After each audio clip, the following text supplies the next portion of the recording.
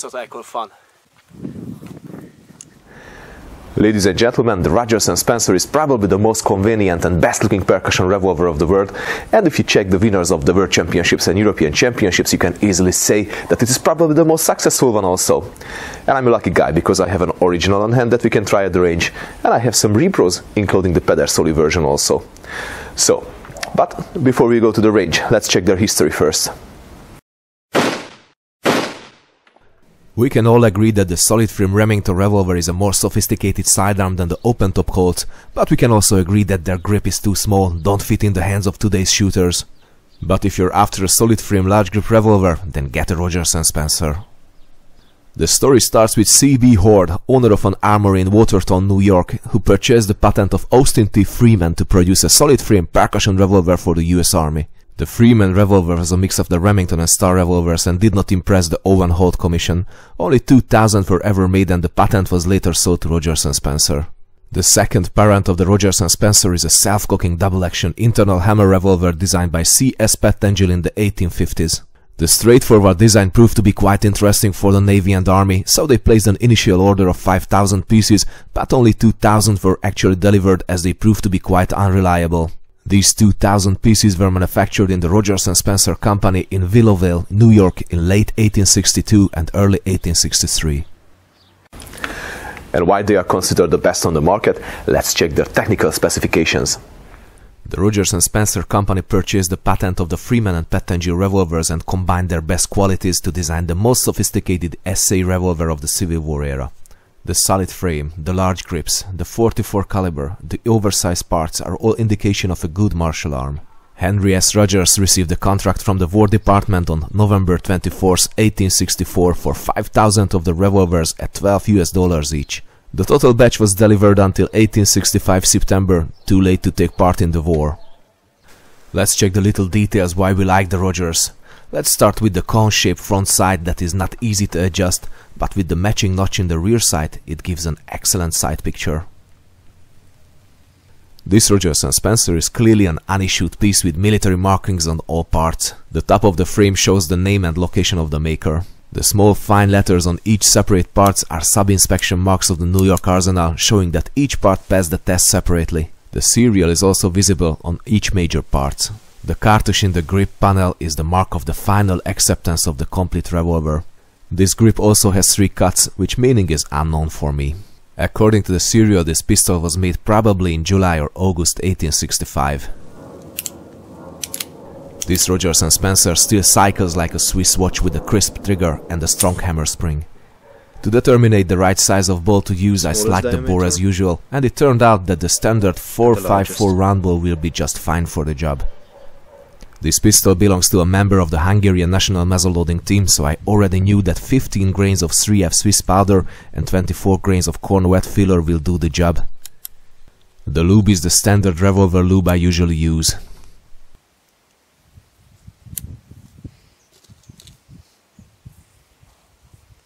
The distance is 25 meters and I'm using the same target as we use on international muzzleloading matches.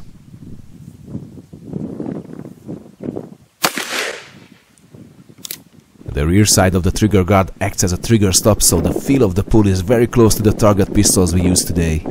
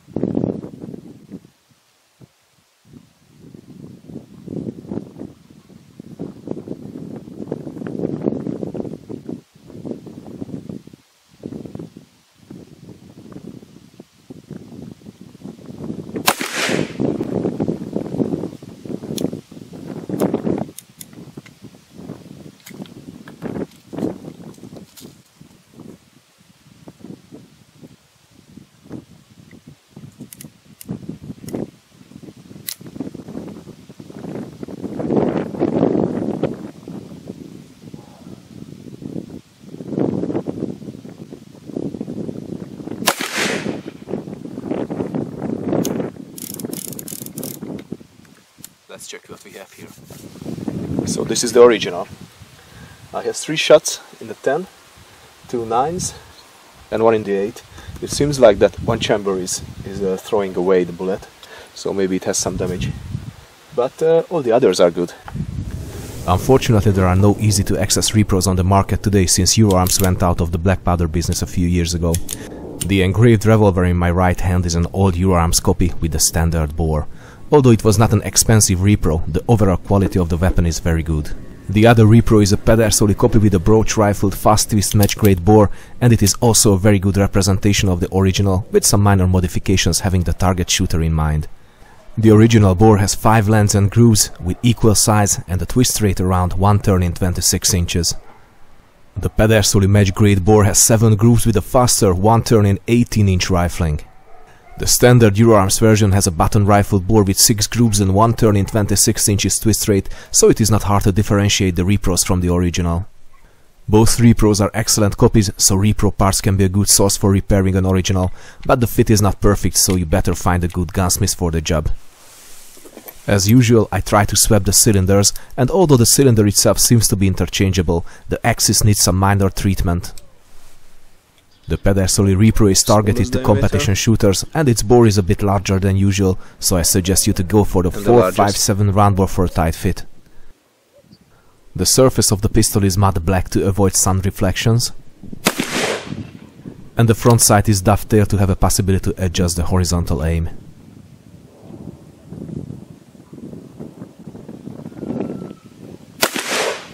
Pedersoli Repro likes a bit more force than the original, so I used 18 grains of 3F Swiss powder while achieving the best group.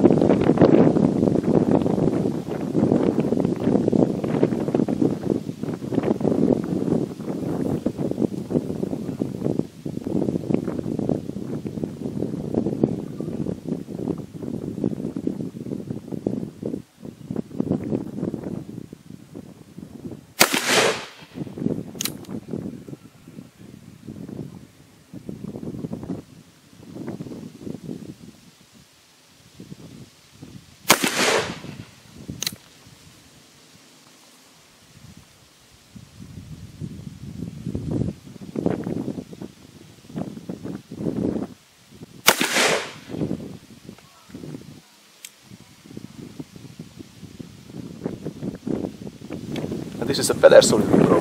I have five shots in the 10 size group, three shots in the same, nearly the same hole, and I only have one flyer, uh, 6 o'clock 6 here. It's a precise target shooting pistol. The disassembly of the Rogers & Spencer is a bit different from the Colts and Remingtons, so let me show you my version of taking this pistol apart. First find the right position for the screw fixing the cylinder axis, put the hammer in half cock and use the loading lever to retract the axis and remove the cylinder.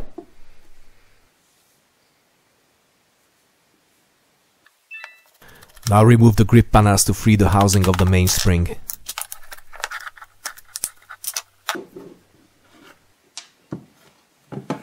The mainspring fits tight and strong into the frame, so you have to find a way to release its tension to take the firing mechanism apart. There are three screws holding the trigger guard. Start with the one in front of the trigger. Now squeeze the trigger guard and the frame with your left palm and unscrew the two remaining screws. Keep the force on the revolver until both screws are removed.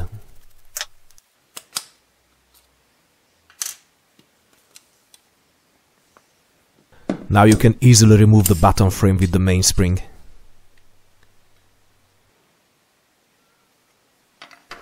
Complete the process, just remove the remaining parts one by one.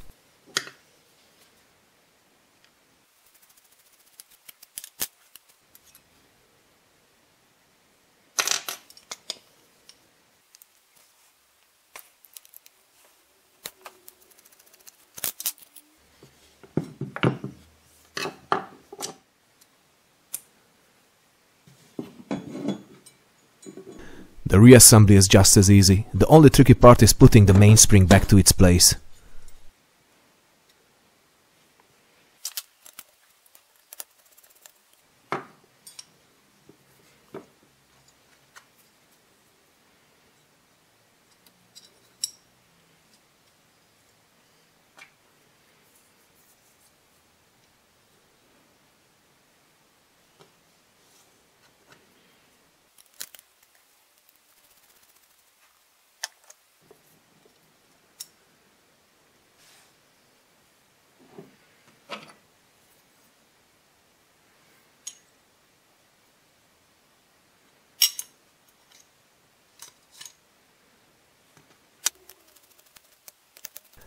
Start with the front screw again and use a screwdriver to force the mainspring back to its place.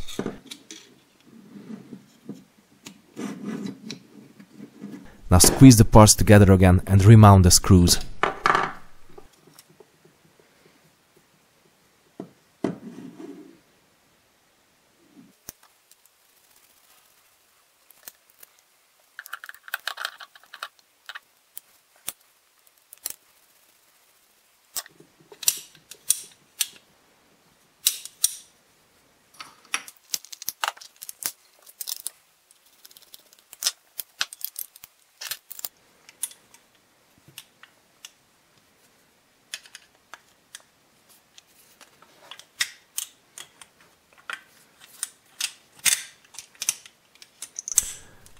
And there you go, your Rogers and Spencer is ready to roll again.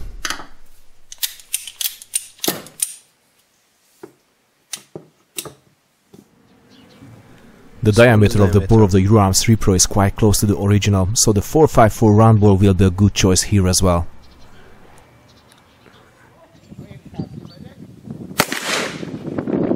Just like with the Pedersoli Repro, the 18 grain 3F Swiss powder was the good solution here as well for the best group.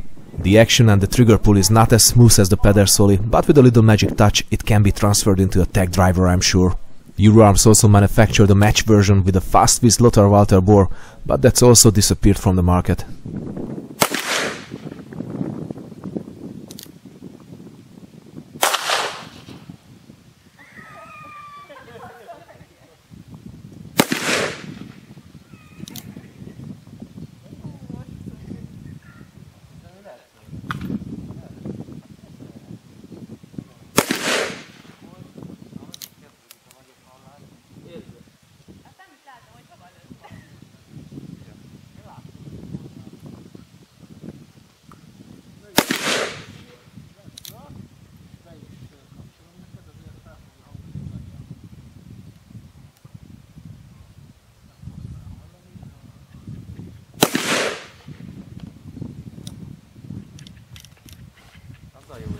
And this is the Euroarms and it's not bad at all. So I have four shots in the size of the 10 ring and I have two flyers. And not bad. Absolutely not bad. It's also a good quality repro. The Rogers and Spencer arrived too late to be used in the Civil War, and although many still tries to prove it so action, there is no real evidence on hand today. The story of these revolvers ends with Francis Bannerman, who sees the excellent possibility to deal with surplus military goods after the hostilities ended. He bought an island on the Hudson River close to New York to store his enormous stockpile and published the catalog to sell the goods to civilians and to other countries. He sold all the 5,000 revolvers on the civilian market sometime in the early 1900s. Traditional target shooting is so much fun, but the best thing is to push these old irons to their limits. Let's see some long range fun with the Pedersoli version. Okay, so the distance is around 90 meters and the size of the metal plate is around 40 centimeters by 60 centimeters, so an upper body. Let's see if we can hit it with this beautiful Pedersoli Repro.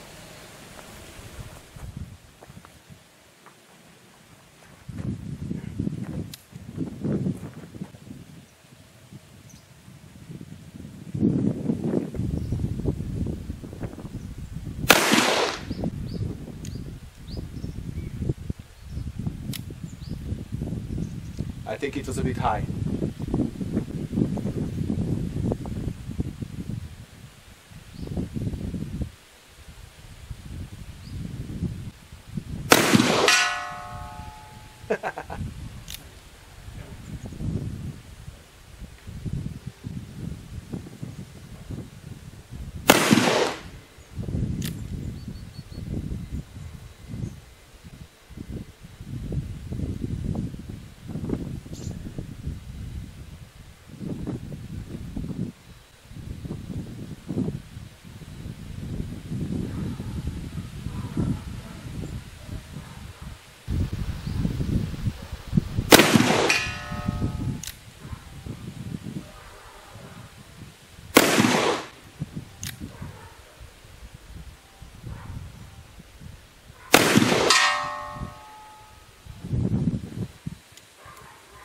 Not that bad, but I was expecting a bit more.